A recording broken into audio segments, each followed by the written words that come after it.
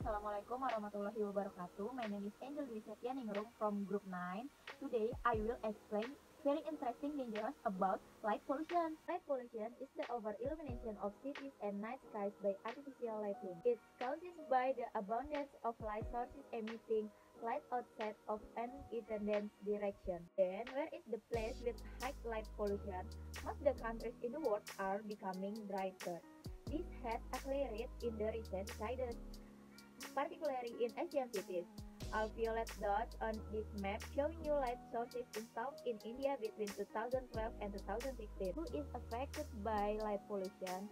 We are starting to see just how dangerous light pollution can disrupt astronomers' observation. But all this extra light ruins astronomers' night in another way it messes with their This makes spectroscopy, a vital part of astronomy and light pollution much ill up. In part because artificial light show up as bright, obscuring lines into spectra. Light pollution also can be dangerous for our environment, our worldwide, and even our own health. Light pollution such a dangerous thing can be harmful for humans because humans need darkness too.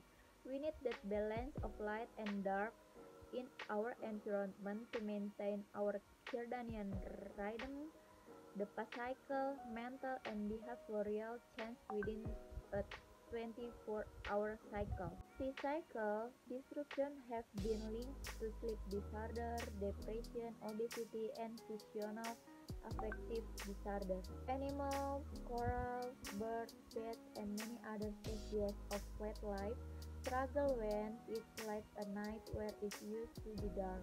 Freshly hatched sea turtles should make their way into the sea, but light near the shore can mislead them.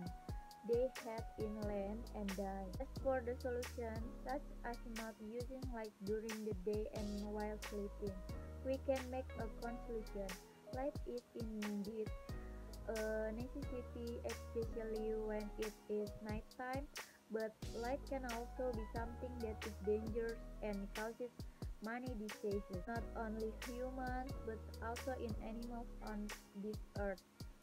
Besides that, human consciousness is also needed because if there is no confusion or solution to prevent it will be pain. Okay guys, that's all exposure for me. Thank you to watching my video. Don't forget to like, comment, and subscribe.